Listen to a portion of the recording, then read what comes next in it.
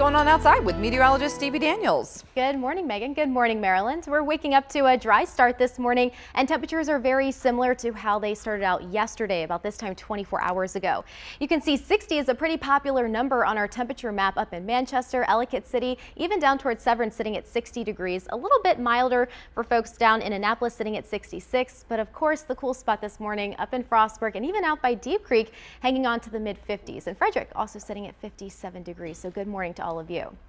As we take a look at satellite radar, we're no notice that uh, we're dealing with that ridge of high pressure still kind of drifting through portions of the Delmarva Peninsula. That's keeping us dry out there this morning, and we're looking to stay dry throughout the rest of this morning with lots of sunshine to kick off your Wednesday.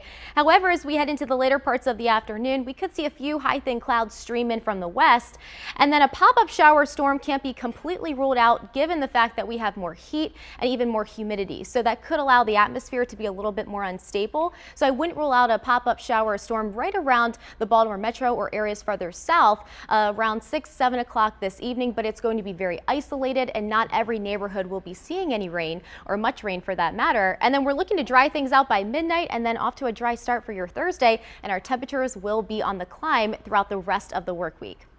You can see your planner today is looking bright and beautiful, especially this morning. Temperatures are going to be right around 82 degrees around your lunch hour. Keep in mind and keep an eye to the sky as that chance of a thunder shower isn't completely ruled out later on this evening.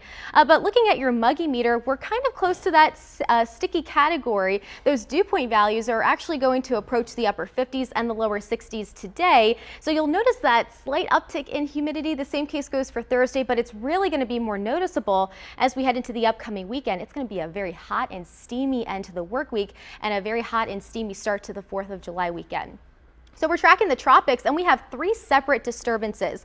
One has a 40% chance of developing over the next two to five days across the northwestern Gulf of Mexico.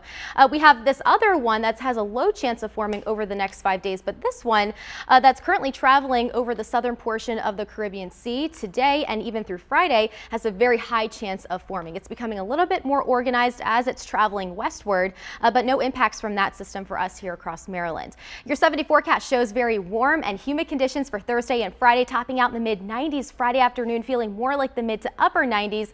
And then the chance for showers and storms possible as we kick off the 4th of July weekend. That chance lingers into Sunday and Monday. Liz?